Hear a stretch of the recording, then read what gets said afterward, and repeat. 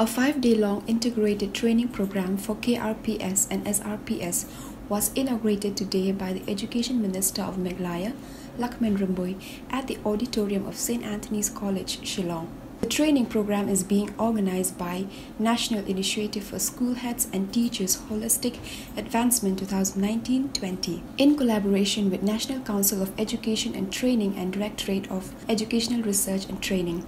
It is to be mentioned that there are around 42 lakhs teachers all over India and 23,000 only in the state of Meghalaya.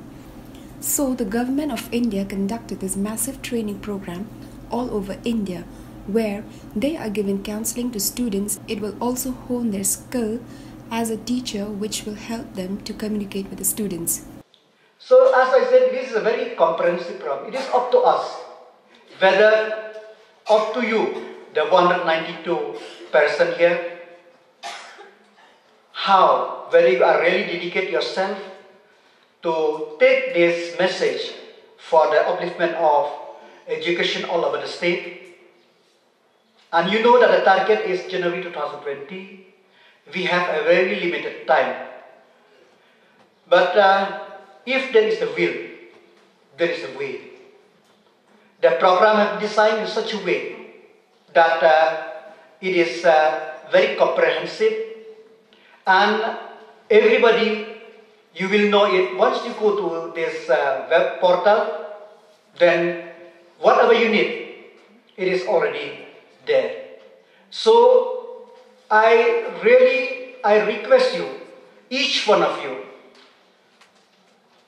all of you kindly whatever you are learning in these five days six days, kindly take it to the field, to your respective district, to your respective subdivision, to all the training center, so that uh, those 23,000 teachers will be, you can uh, give the knowledge to these 23 other teachers so that they can also teach the student under this training program in northeastern state, Assam, Sikkim and Manipur has already completed the training program.